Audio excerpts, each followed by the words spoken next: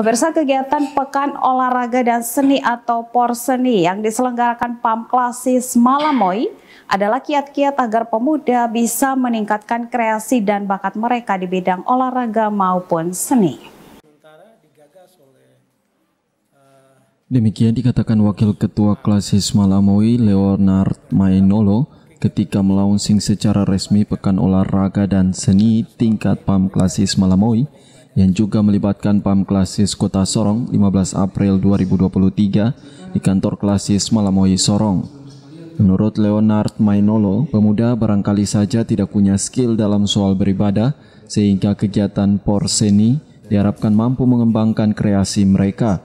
Sehingga kegiatan yang baru pertama kali diadakan di Klasis Malamoy ini, pemuda dapat bertanggung jawab terhadap kreasi mereka secara keseluruhan.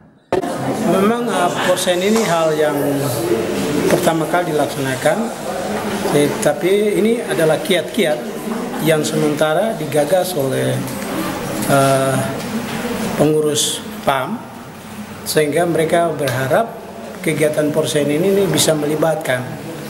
Nah, mungkin karena selama ini mereka hanya fokus pada ibadah, sehingga banyak ada teman-teman yang tidak terlibat langsung dalam uh, kegiatan atau melibat langsung dalam kegiatan-kegiatan pemuda. Saya percaya kegiatan ini karena di pemuda-pemuda ini mungkin mereka tidak punya skill di contoh dalam hal beribadah, tapi mungkin mereka punya skill di dalam bermain bola atau punya kreasi dalam menggambar atau segala macam. Saya percaya ini adalah kiat-kiat yang dilaksanakan dalam rangka menumbuh kembangkan minat sehingga uh, mereka juga bertanggung jawab untuk kelangsungan uh, pemuda ini. Yeah. Selain itu, Ketua PAM Klasis Malamoy, Yongki Ulimpa mengatakan, Porseni di Klasis Malamoy bertujuan untuk menjaring kembali jiwa muda para anggota PAM yang mulai terkikis karena sudah keluar jauh dari persekutuan PAM. Tujuan lain kegiatan tersebut adalah bagaimana mencari bibit olahragawan yang potensial yang bisa berlaga pada event daerah bahkan tingkat nasional.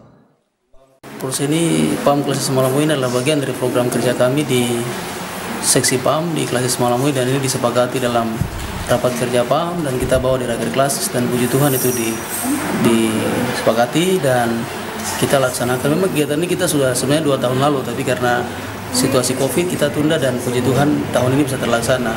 Jadi tujuannya adalah yang pertama untuk bagaimana kita menjaring kembali jiwa-jiwa anggota PAM, teman-teman muda yang hari ini keluar jauh dari persekutuan. Melalui event ini dia bisa kembali bergabung. Daripada dia main waktu dengan kegiatan yang terpenting dia bisa ikut main bola dia bisa ikut kegiatan uh, seni. Dengan begitu dia bisa terhindar dari hal-hal yang tidak diinginkan. Tapi juga tujuan lain adalah untuk me menjadikan kegiatan ini sebagai sarana atau event di mana untuk kita mencari bibit-bibit pemuda yang bisa muncul di sepak bola apa di olahraga, di seni supaya don juga bisa bukan hanya di daerah tapi bisa ikut dalam event-event daerah maupun nasional dan seterusnya. Sementara Ketua Panitia Poseni Pam Klasis Malamoy, Yosepus Mamberop Rumah Keik membenarkan hal itu. Ia menjelaskan kegiatan tersebut untuk mempererat persekutuan pemuda di jemaat-jemaat Malamoy yang luas di wilayah pemerintahan Kabupaten Sorong yang baru dimekarkan dari klasis kota Sorong.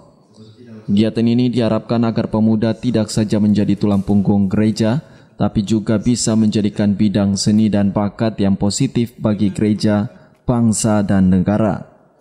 Seni Pam Klasis Malamoy yang pertama yang sudah direncanakan sejak dua tahun yang lalu tapi karena Covid tertunda dan baru akan dilaksanakan pada saat ini.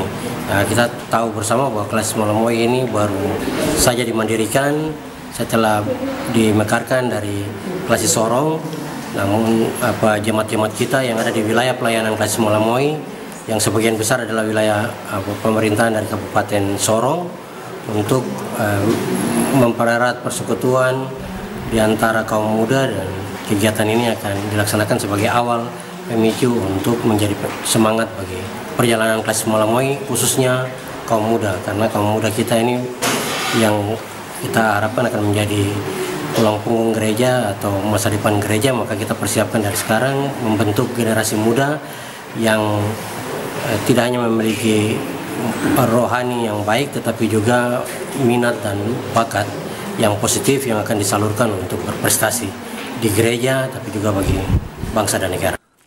Semi Finjalang CWM Channel.